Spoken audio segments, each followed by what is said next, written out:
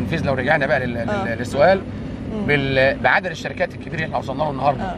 اللي هو تقريبا عندنا النهارده 73 شركة فيها ما لا يقل 73 شركة زي كانت طرق فيها ما لا يقل عن 18100 و200 عامل مهندس وفني وعامل سواء تشغيل أو سواء سواق أو سواء ملاحظ بيسجل حتى عدد العربيات وعدد النقل اللي بتنقلها أو سواء عامل الكاوتش أو سواء العامل البسيط اللي بيعمل له الأكل بتاعه في المطبخ علشان آه، آه، يأكل الناس آه، حوالي 18100 أو 18200 عامل في ال 73 شركة. دول عملوا لحد النهارده. النهارده بإذن الله بالليل هيكون عندنا 75 مليون متر مكعب أعمال حفر. يعني تقريبا إحنا وصلنا إلى 42 43% من أعمال الحفر. الأعمال الحفر بتاعة الأسبقية اللي هم 180 مليون. آه. إيه بقى التدبيش؟ آه. زي ما حضرتك شايفة كده إحنا بعد ما. بعد ما بنوصل بالحفر حتى منسوب سطح المية آه. وتدخل الكراكات آه معانا وما نعطلهاش. نقدر نجيب بقى المعدات دي سواء البلدوزرات أو الحفارات اللي هي لها القدرة على ال ال ال ال القدرة الكبيرة على تحريك التربة سواء حفر أو إزاحة مم. نبدأ نعمل بيها الميول الجانبية والمصاطب اللي مطلوبة لإجناب القناة مم. عشان القناة ما تنزلش كده رأسية يقوم الرمل ده ينهار بعد كده ينزل آه. في ال ال ال آه. ال القناة يأثر على المجرى الملاحي أو حتى ينهار يأثر على مم. أي آه، فرد مم. أو أي معدة بتتحرك آه، فده بيجي بنثبت الجناب بنثبت الجناب بطريقتين يا إما بتدبيش بالدبش يعني يا إما بستاير معدنية. الستاير المعدنية دي بندقها بمكن خاص. آه بندقها تحت منسوب سطح المية. ثم من منسوب سطح المية ده دي آه، sheet pile ستاير معدنية.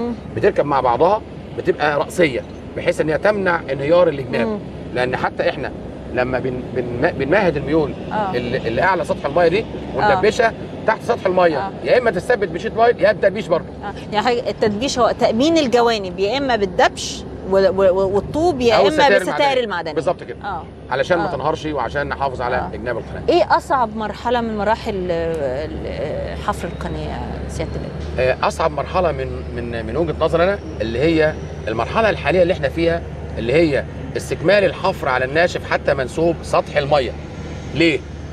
إحنا عندنا ال- ال- المية الجوفية المفروض إن هي نظريا ارتفاعها يعادل منسوب سطح البحر أو منسوب سطح القناة وخاصة إن إحنا قريبين من قناة السويس هي هي ميه جوفية ولا رشح من القناة؟ آه، يعني أنا هي- أصل أنا لما بنقول آه، ميه جوفية الناس تفتكر أبار. لا إن ما هي رشح من من هي الميه المجاوره المسمى العلمي اسمه آه. ميه جوفية. آه. ناتجه عن إيه بقى؟ ده اللي أيوة. حضرتك بتسأل عليه. آه. ناتجه عن آه، رشح أو تسرب من القناة.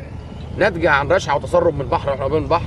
ناتجه عن رشح أو تسرب من أراضي زراعية لو إحنا قريبين من أراضي زراعية. آه. ناتجه عن رشح أو تسرب من آه، مصارف زراعية أو حتى صرف صحي لو في ناس النظام ال- ال- العادي القديم اللي هو آه. كان فيه آه، ترنشات في مم. ال- حوالين البيوت كانت المية بتروح فين؟ بتتسرب في الأرض مم. فدي اسمها المية الجوفية آه نظريا المفروض المية الجوفية تبقى قريبة من أو نفس آه. منسوب سطح المية في آه. قناة السويس إحنا قريبين منها ولكن نتيجة وجود مزارع في المنطقة المحيطة بينا قد تلاقي في بعض المناطق القريبة قوي من الزراعات منطقة المية الجوفية فيها أعلى شوية ب 60 سم ب 70 سم بمتر. عن منسوب سطح الايه ال- القناة. فأنا عايز أوصل بالمتر ده حتى منسوب سطح القناة. علشان ما أسيبوش أنا ممكن أسيبه. ما هو ده تحت المية خلاص. والكراكه لما تدخل هتحفره. مفيش مشكلة فيه. ولكن أنا حريص إن أنا أوصل لمنسوب سطح ال- البحر علشان أقلل ارتفاع وبالتالي كمية الحفر اللي هتحفرها الكراكات آه. يقوم كمية الحفر اللي هتحفرها الكراكات لما تبقى قليله ما تاخدش مني دولارات وفلوس. أنا عايز أوفر. فانا الحفار بتاعي اللي حضرتك شايفاه يقدر يحفر تحت سطح المية لحد 4 متر 5 متر. دي المرحلة اللي أنا فيها دلوقتي إن أنا بوصل الحفر كله اللي أنا حفرته قبل كده إلى أنا حفرت قبل كده أو أو أو حاليا بنصل إلى منسوب زائد واحد. حضرتك كلامك ده بيأكد حاجة خصلة أص- موجودة فينا المصريين. إحنا إحنا عمر ما كانت دولتنا فيها الوفرة والرفاهية. حضرتك بتعمل مشروع عظيم وعارف إنه الدولة كلها موفرة ومسخرة كل الامكانيات اللي تقدر عليها والأفراد والشركات إنما برضو مواردنا ما هياش يعني ما, ما تخليناش في أي وقت نشتغل براحتنا زي الدول الغنية. بالظبط. فأنت عايز ت... عايز توصل تنهي المشروع في توقيته. تمام. وعايز المصريين كلهم يستفيدوا من من من منتجه. وعايز توفر لأنه أنت عارف إنه ال- ال- ال- العين بصيرة والإيد قصيرة. ده هو ده نمط المصريين لما بيعملوا أي حاجة مؤمنين بيها. إحنا حريصين. والخير السياسيه حريصة. إن إحنا يبقى بنشتغل بمنظومة محددة بمحددات رئيسية. لا نحيد عنها. إن إحنا نعمل مشروعاتنا بأعلى مواصفات وأعلى جودة. وفي أقل توقيت وفي أقل توقيت نقدر نعمله. إحنا لازم نحافظ على المواصفة. وفي أقل توقي- توقيت نقدر ننفذه بضغط وزيادة المعدات وزيادة عدد عدد ساعات العمل. وباقل تكلفة مالية ممكن. لأن زي ما حضرتك قلت إحنا ما إحناش دولة عظمى ما عندناش فلوس كتير. ولكن وأنا بدي حضرتك مثل بقول لحضرتك إحنا إزاي نوفر؟ إحنا أهو لما جبنا الناس قلنا لهم أنتوا مصريين ودي بلدكم ويعني أنتوا خدتوا قبل كده كتير أو كسبتوا بلاش خدتوا كتير كسبتوا من شغلكم. مصر مصر ضاع منها وقت كتير وفلوس كتير يعني م- إن شاء الله م- م- يعني إن شاء الله جاي أحسن. إن شاء الله إن شاء الله. جاي إن أحسن. شاء الله. آه. إن شاء الله. الله. نوفر ونقدر نحافظ على فلوسنا كويس قوي ونقدر نعظم اللي في إيدنا. صدقيني نعرف نعظم اللي في إيدنا. نعمل بيه كتير إن شاء الله. صح. سيادة اللواء إحنا قبل التصوير قعدنا كده نراقب حضرتك عن بعد. كان عندك مؤتمر صحفي وكان في وفد جاي وكنت واقف مع مجموعة من ضباطك وكمان كنت بت... كان في هنا ونش حضرتك كنت بتكلمه. أنا يعني في خمس دقائق أو في عشر دقائق شفت قائد عسكري وشفت آه، آه، مسؤول عن مشروع وشفت آه، همزة وصل مع الإعلام. أنا آسفة ما تأخذنيش بس أنا يعني في لحظة حضرتك كنت تكلم الإعلاميين وبعد كده رحت استقبلت ناس وبعد كده قعدت تزعق بملو حسك عشان كان البلدوزر مش عارفة بتقول له إيه. ده ده. ده, ده عرض مستمر؟ آه، آه، حضرتك إحنا آه، مش عايز أقول أنا ما يا ست اللواء والله آه، أنا لا، لا، أنا أنا لا، بحاول. أوصل للناس للحالة. كل كلام حضرتك مظبوط. كل كلام حضرتك مظبوط وفي محله. إحنا ممكن حضرتك في ال 24 ساعة اللي إحنا بنشتغلوا ممكن ننام أربع خمس ساعات.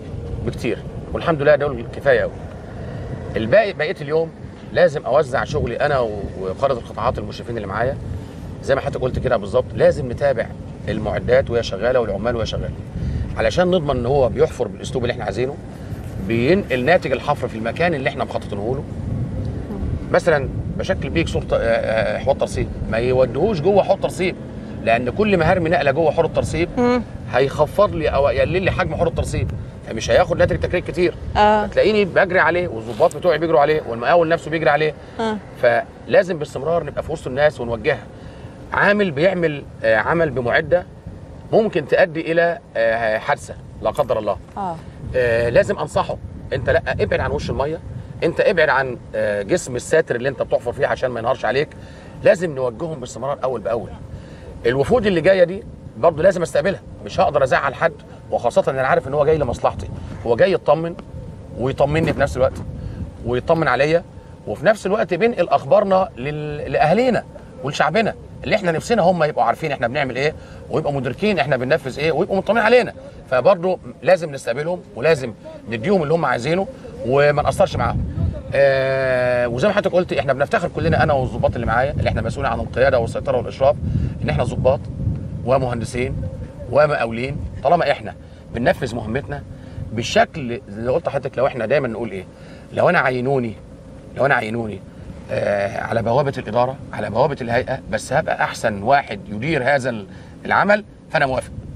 طالما هذا العمل في الآخر هيصب في مصلحة بلدي سواء بقى بقى أنام ما انامش آكل ما أكلش أبيت هنا ولا أرجع أبيت في القاهرة مثلا يوم كل يومين ثلاثة ولا حاجة. آه، ظباطي شغالين معايا 24 ساعة. آه، ده, ده ما يهمناش. إحنا وعمالنا على فكرة. شركاتنا الشركات اللي موجودة مش عايز أقول لحضرتك العامل المصري. لما بتتاح له الفرصة ويلاقي القدوة ويلاقي اللي بياخد بإيده ويلاقي اللي بيخاف عليه ويلاقي اللي بيوفر له المناخ والبيئة المناسبة إن هو يشتغل هيشتغل. إحنا عندنا ناس بتشتغل صدقني 18 ساعة. صح إزاي إزاي يشتغل 18 ساعة؟ الناس زي ما تقول لك الألمان بيشتغلوا اليابانيين بيشتغلوا. لا وإحنا المصريين بنشتغل وهنشتغل إن شاء الله. بس لما نحس إن نتيجة شغلنا ده هتعود علينا وعلى بلدنا وعلى شعبنا. هنشتغل وهندي. صح. لما نحس ان ان إن ناسنا وشعبنا آه هيستفيد وعينه علينا وإحنا تحت الميكروسكوب وإحنا نتيجة شغلنا دي هتعود على شعبنا. صح. لازم هنشتغل ولازم هننتج. بقى نتعب شوية. ما نتعبش شوية نستحمل شوية إن شاء الله ربنا هو اللي هيكافئنا إن شاء الله. بنتمنى دوام هذه الروح روح الحماس والعلم والانضباط والانفتاح كمان على البلد. دي روح لا تعوض ومش بس في بلدنا في أي بلد في الدنيا. المشروع ده إن شاء الله لما ينجح وإن شاء الله هينجح بإذن الله. بدعاء المصريين كلهم لينا وبثقتنا في ربنا. المشروع ده لما ينجح هيبقى آه، فتحة خير على مصر وقاطره وهيعيد لنا الثقة في نفسنا. وهتبقى قاطرة لبقية المشروعات ال- القومية العملاقة. إن شاء الله آه، اللي هتعود بالخير إن شاء الله بإذن الله على الشعب المصري بإذن الله.